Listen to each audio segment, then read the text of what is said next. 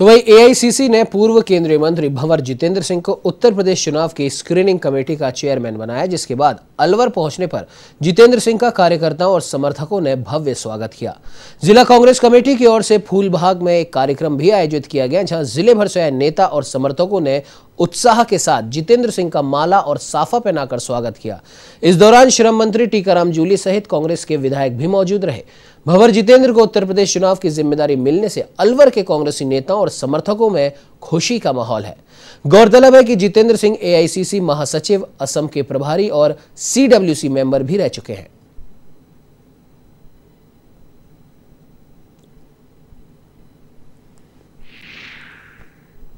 श्रीमती सोनिया गांधी जी को कांग्रेस अध्यक्ष को देना चाहूँगा कि जो विश्वास उन्होंने मेरे ऊपर जताया है और एक बहुत ही बड़ी ज़िम्मेदारी मुझे दी है, उसके लिए मैं उनका बहुत बहुत धन्यवाद देता हूँ और उनको वादा करता हूँ कि पूर्ण निष्ठा के साथ मैं अपना काम करूँगा। और जो कार्यकर्ता की आवाज़ है, जो कार्यकर्ता चाहता है कौन प्रत्याशी बने, उसकी आवाज़ को बुलंद करते हुए कार्यकर्ता की आवाज़ हम ए तक पहुँचाएँगे। और हमारा प्रयास ये होगा कि महिला हैं युवा हैं और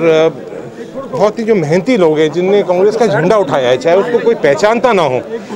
दिल्ली के अंदर लेकिन घरों के अंदर पॉपुलर है उस व्यक्ति को हम ज़रूर मौका देने का प्रयास करेंगे। एआईसीसी के महासचिव और अलवर ज़िले के पूर्व विधायक पूर्व सांसद पूर्व केंद्रीय मंत्री